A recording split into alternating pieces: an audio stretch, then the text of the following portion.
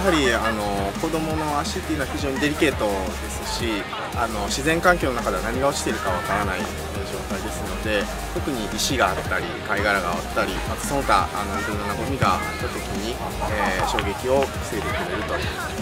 素足よりも靴下を履いた方が安全性が高いと思います。靴下を履いて歩くことで特にあの初心者とかはですねあの裸足でボール蹴ることに慣れていなかったりとかするのであの、まあ、衝撃が吸収されて、まああの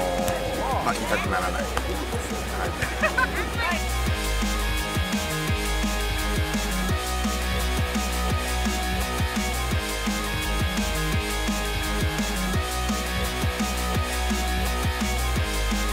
まずシーズンでいうと夏場ですね、えー、天気が良すぎると、えー、昼には玉が焼けてしまって非常に暑い状態になります。その時にソックスを履いていればあの火傷することなくできると。思いますまたあの冬場なんですけれどもやはりあの外は逆に寒くなりますので、えー、ビーチスポーツ年中練習したい時に冬場に履けば冬場もしっかりと練習ができると思います。しっかりフィットしているのであの素足に近い状態でプレーできるかなと思います。